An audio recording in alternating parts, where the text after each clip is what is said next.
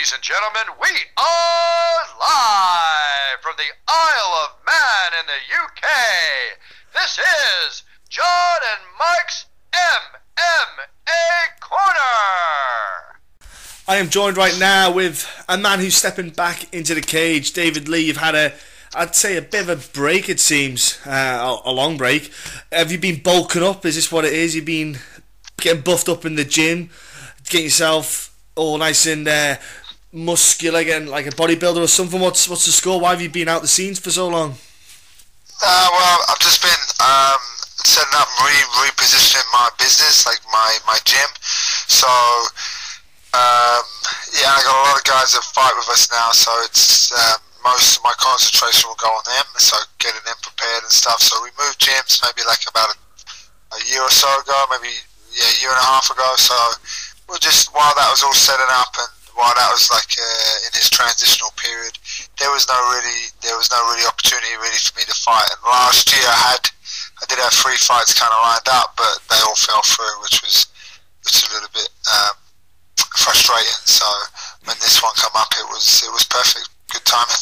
I was going to say, yeah, it, it is a bit of a disheartening moment when fights fall through, uh, especially when you get you kind of get yourself amped up, your training goes up a level, and then when it falls through, it is it is crap. Let's be, be honest, and that does happen though, especially on the UK circuit. Things like that do happen. But you've got your yeah, it happens. It happens everywhere. You know, what I mean, like I had, I, I'd, uh, it, I had one sort of set up uh, overseas that um, you know that I was excited to do, and then it fell through, and then uh, it just just logistically, like visas and stuff like this, it fell through. Just mm not enough time to get things done, and and then the second one was all ready to go, the same sort of thing, but then um, the show got cancelled. So uh, it was it was just like, well, all right, that's no big deal. Uh, and at that time, I had a few guys fighting, like a couple of weeks after, a couple of weeks before, pretty much like this one, but. Um, but yeah, it's it's frustrating. But you know, that's I've seen I've, I've been there before. It's nothing. It's nothing new. These things happen. Do you know what I mean? Yeah, so with the fights obviously falling through, and you, you say you got a lot of a lot more fighters now competing. Have you found that balance then of obviously coaching the guys, getting guys prep, being with them for their fights, etc., and obviously getting the time for yourself to obviously focus on yeah, your I fights? Mean, I've been I've been pretty much doing that all the time anyway since since I've even started teaching and.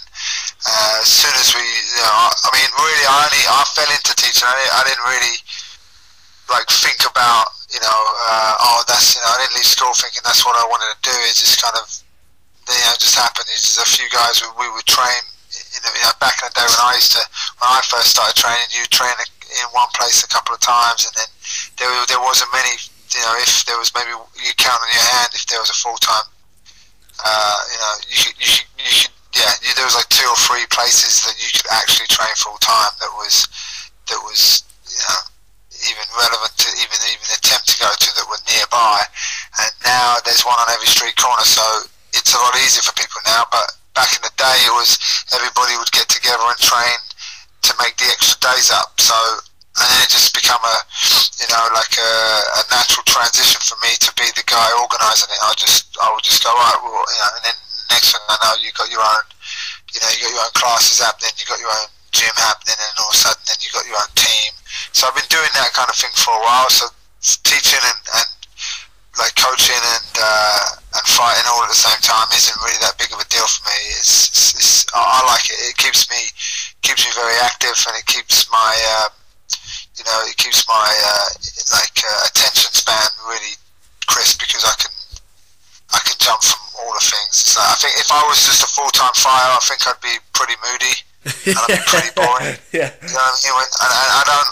I'm not. I'm, I think you have to be really selfish to, to be a full time fighter. You know mm. what I mm. mean?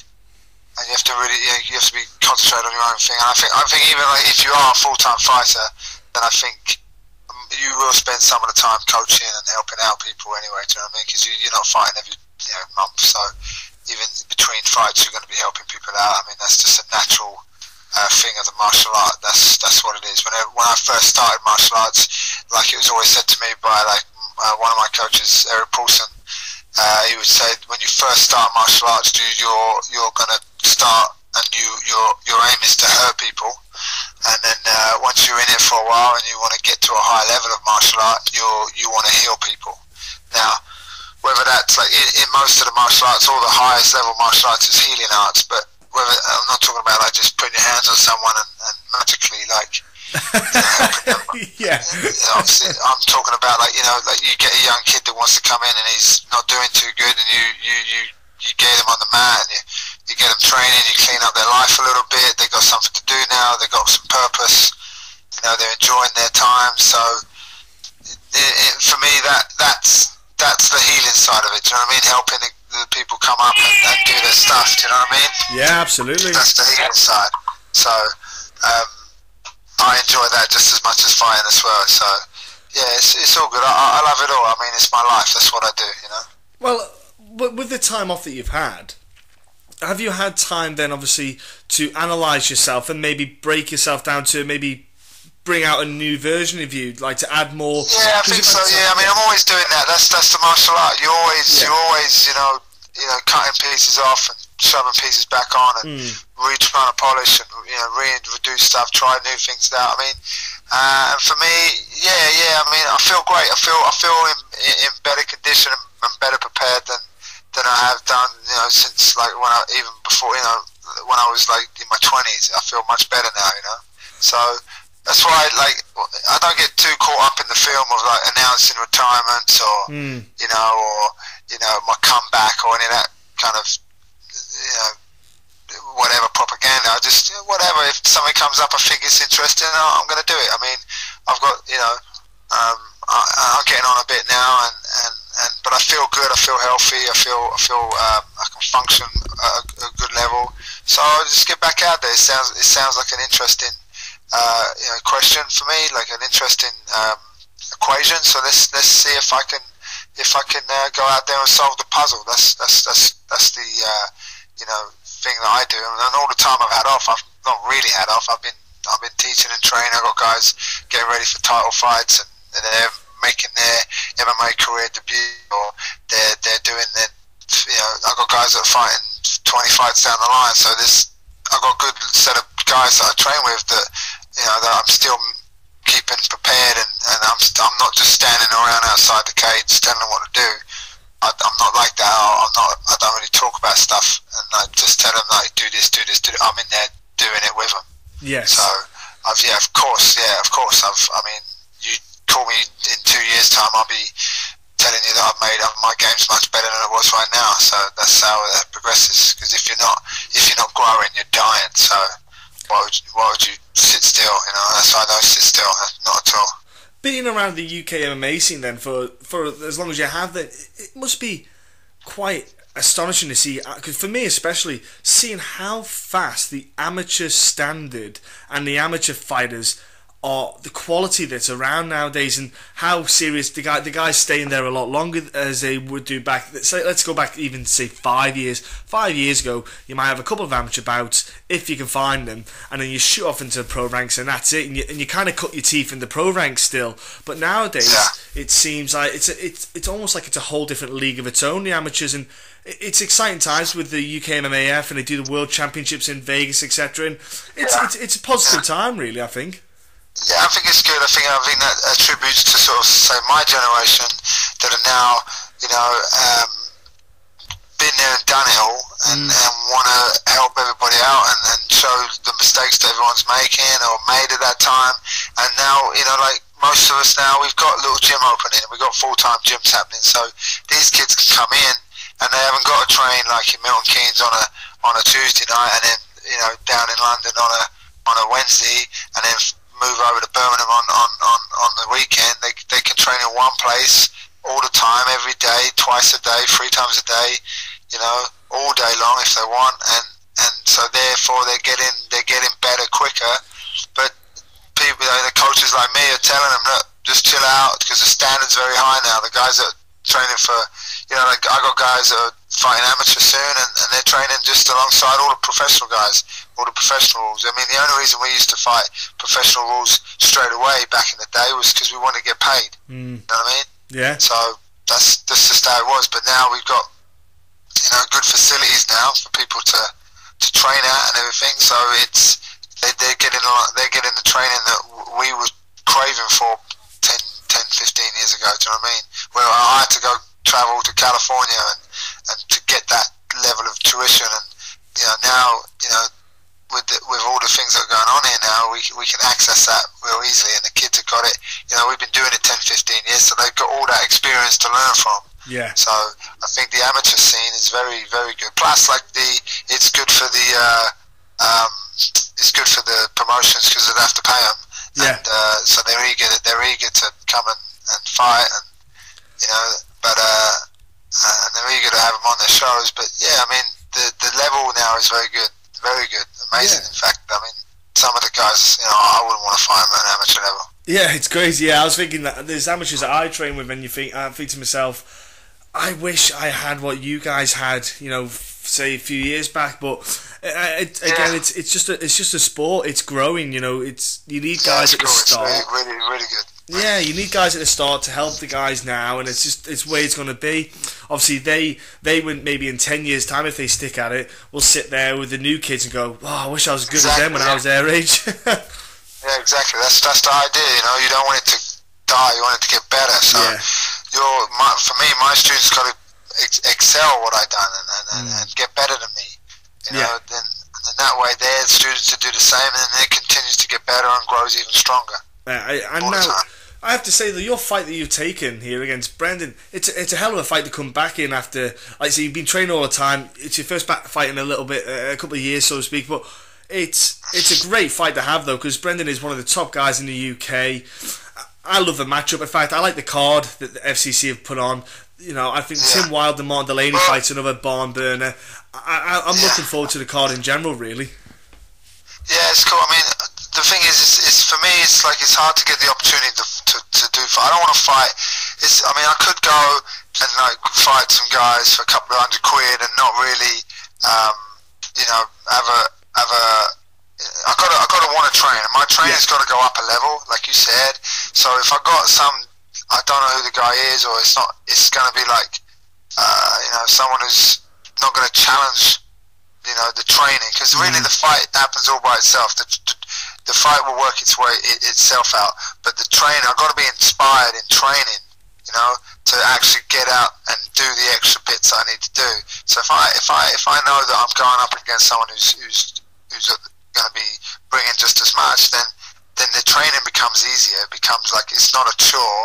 It's not a it's not a grind. It's it's it's work and it just needs to be done because you know that your, your opponent's doing exactly the same thing and he's bringing the level to the to the fight. I think sometimes if you don't have the if the the opponent's not uh, you know a good opponent for you or you know you, you, can get lazy with it and then and then and then again if you if you're lazy with someone and they do beat you then then it's your own fault and they shouldn't have beat you then it then you're done it's like so you got to have a, a formidable like challenge otherwise Yeah. what's the point of doing it you know what I mean Yeah, I, I Yeah. agree with you on that one fully. You know, and I think Brendan is the kind of guy who makes you pay attention to your training sessions and make sure. Yeah, of course, he's very good. He's good. He's a good level uh, guy, and and to be honest, I, I was offered a fight on, on FCC, and it, and it fell out at featherweight, and then they the next fight they offered me was Brendan, so I was like, okay, I'm not one to really go, oh no, or you know, I've never really turned many fights down, so then you know, I'm up for it. That's fine. You know, I've been I've been around the block. Yeah, okay. I mean, and then to and to be honest, the, the pressure's all on him. You know what I mean? He's like, how old is he? What, 27, 25? Yeah, he's only young. I Yeah, can't remember how exactly. young he is now as well. He's he's a young whip. he's, he's, he's like I've got at least ten years of age on him. You know, I've got I've got more grey hairs than him. you know, I'm an old man. I'm an old man. Do you know what I mean? So what have I got to lose? I come back out. I haven't fought in two years, and they give me a title shot. You I know what I mean? I'm coming there with a who cares attitude and just going out there to. You know, I'm not making any more than this than what it is. I'm going out there to fight and test my skills as a fighter, it, uh, regardless of who's across the cage from me. I'm just going out there to, to, to try try to see if my stuff still works. You know what I mean? So I've got no, and he's the champion. I'm the challenger, whatever. But he's like the young gun. I'm an old man. I mean, imagine getting beaten by an old man. It's going to be terrible. Hey, they're not I mean, grey hairs. so- They're not grey hairs. Firstly, I have I've I, they're called hairs of wisdom. I have many of them. Okay, yeah. It's hairs of wisdom. Yeah. All right. I call it having. I have called having two kids. yeah, yeah. I'm pregnant. plop. Where'd that grey hair come from? yeah, I, I, will put, I'll agree with that one. Yeah, ch- children do have that effect on hair.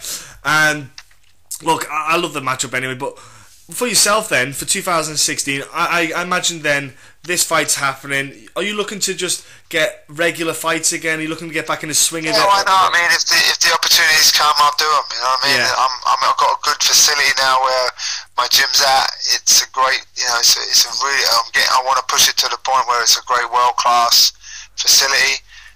And uh, you know, I'm going to take full advantage of it. You know what I mean? Take full advantage of all the guys that I've got training with us. I've got full advantage of the the, the, the, setup we have. So you know, why not?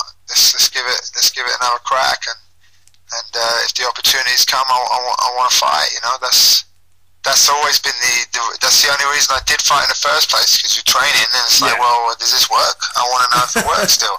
So it's the same thing. You know what I mean? And are you looking to do? A, are you looking to stay at featherweight? Or are you, are you happy to maybe do? what- Yeah, I don't care. man. This this fight, I, I Light- probably made weight three weeks ago. um, but uh, but yeah, lightweight's been good. You know, it's like, I mean, I don't know. Maybe uh, featherweight, featherweight probably where I should be at. But Yeah. that's a, another reason why the matchup with Brendan was good. I know he's fought featherweight. I think that's why he wanted to fight me as well. He knows I'm not going to walk in there massive. Yeah. I'm not going to walk in there 90 kilo. You know what Yeah. I mean? Or 80 kilo. I'm not going to be that massive. Do you know what I mean? And I think we're getting to the point now that we're the evolve the the evolution of the sport now. I think is getting there where we're we're starting to see the weight shift. You know what I mean? They've done it at ONE FC. Yeah. Obviously, McGregor's fighting at seventy, and Yeah. we're seeing the the pull away from the whole unhealthiness of that weight cut. Do you know what I mean? It I think we're seeing that now. A lot of guys, are, you know, getting a bit switched on to that, and I think we're seeing it. So, and, and again, if the weight weight cuts are changing, it just means everybody moves up a category. Let's not worry about like starving ourselves and, and freaking, you know, like just trying to squeeze ourselves dry in a sauna. You know, stop all that stupidness, or even going beyond the measures of like, you know, taking blood out of your system and just to get on a scale. I mean, it's crazy. It's just not Yeah. good for you. You know what I mean? It is. really It's- not good for you. it's staggering some of the I mean- some of the lengths people will go to. I, I Exactly, myself, you know, I've I killed myself trying to make weight one time, and it was, you know what, I, I shouldn't have even stepped in the cage, but I did. Yeah, exactly. It was Dangerous. it was dangerous, yeah, it was because it, it was the it was the implications of what the long term effects could have had if, for example, I'd went in and say he had smoked me with like a head kick. It's that Yeah. effect on the brain, which it didn't happen, frankly, but at the same time, it's one of them ones where it could. You don't know what could have happened. Of course, of course. Yeah. I mean, I've seen it all. I mean, we when we weight cutted back in the day. I mean, when I used to I used to fight uh, uh, welterweight with me, you know, stand on the scales with me lunch.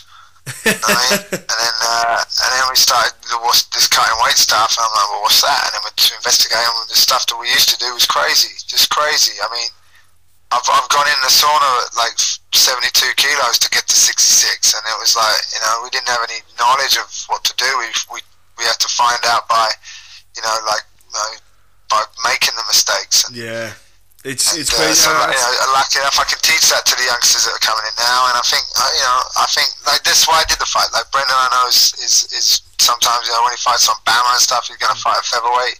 So you know, lightweight for the pair of us is, is probably easier to do. You know. and it's a healthy fight for the pair of you, which is key. You know, Yeah, The- you get a better performance out of the pair of you as well if you're you're fitter, Yeah, you're healthier. Yeah.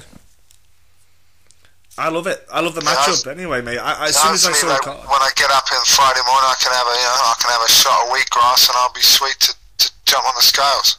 and that's the, that's all that matters. And I, I mean, honestly, I, I look forward to the fight. Honestly, it, when I saw the fight card itself, I, I was well. Actually, Adams, you know, he does actually do pretty good cards. To be fair, FCC, and Yeah, yeah. it's one of them promotions where I don't think Adam realizes how it's a good card and good promotion that he does, but he just doesn't put it out there enough. I feel on the UK scene. I think he do, I think he could do a bit more on that side of things. I, I don't think he gets the credit it deserves really as well.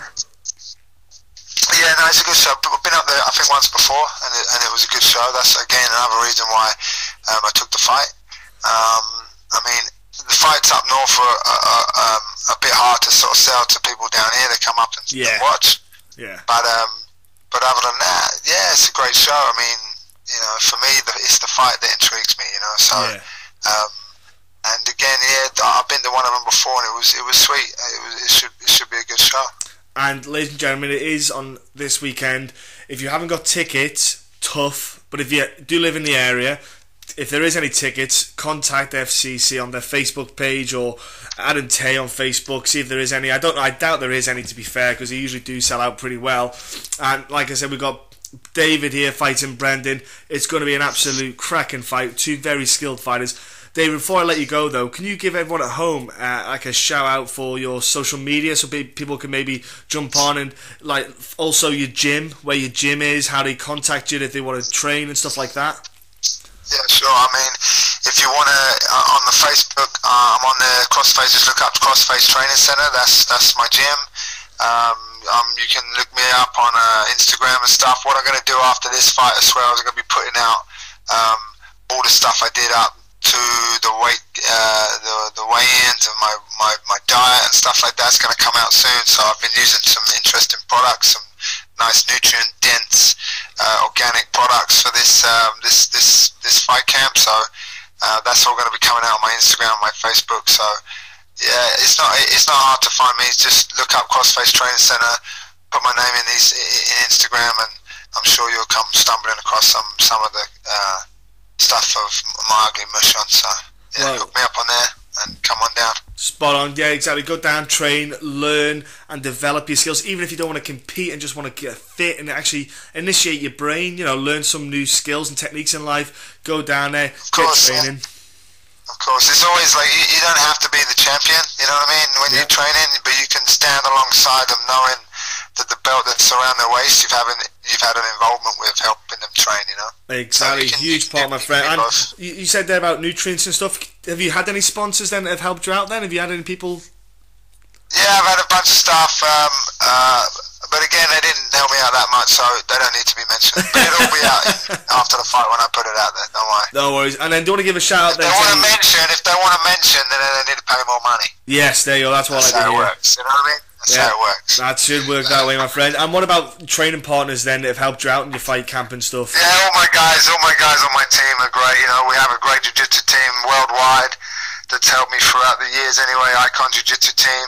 Uh, that's headed up by my my uh, grandmaster Zé Marcelo. Obviously, the guys that have um, always been there for me in California, like Paulson. We've had them over this this this. Uh, uh, we just had them because UFC was over, so we had a bunch of their guys over. Um, so yeah, so everyone has been helping me train. Had a little bit of um, Matt Miller time yesterday as well. That was always good to do a bit of wrestling with Matt. So uh, yeah, everyone on my team, like I've got my guys to watch out for as well. Charlie Leary's going to be fighting soon in the next few weeks. He should have been on this card, but I don't think anyone wanted to fight him. Um, so yeah, and, and look at my team, Team Crossface. We've got bunches of bunches of um, amateurs and, and guys that are breaking through the amateur ranks and hitting the professional ranks soon. We got a ton of guys coming, so watch out. We're, we're, we're on a mission. So keep an eye out, folks. You see, you hear the name, you got to think, okay, that's one of David Lee's boys there. I'll have to get all girls. I'm not sexist, obviously, but keep an eye out for them. All right. uh, uh, David, thank you very much for coming on to talk. It's been great chatting to you. And have a great fight and a great weekend, man. Yeah, I will do. I look forward to it.